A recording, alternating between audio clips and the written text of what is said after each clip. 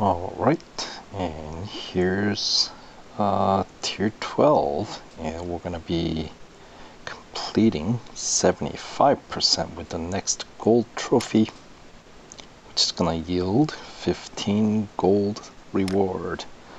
So we'll do this at Brands Hatch head to head see how this goes? Just a single lap so it should be pretty quick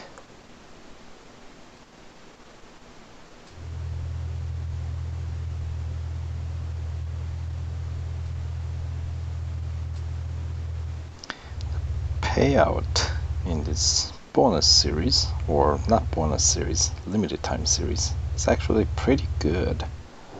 Um, so even if you're not running to win the car, I would say uh, with the currently uh, instant service going on, you should do some races.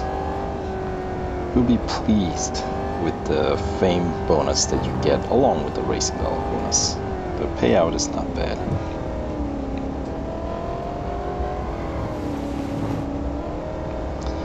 It's certainly better than the actual bonus series that this car is featured in in the part of your career.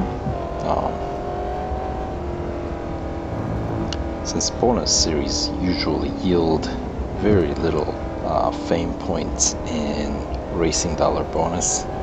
So um, this limited time series is probably the best that this car is gonna get unless they introduce uh, exclusive series with this car, which obviously we don't know yet if that's ever gonna happen.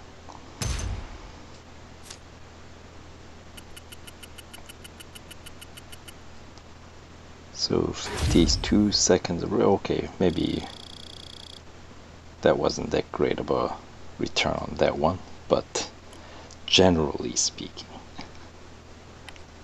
then again, that was pretty short race, so... Anyway...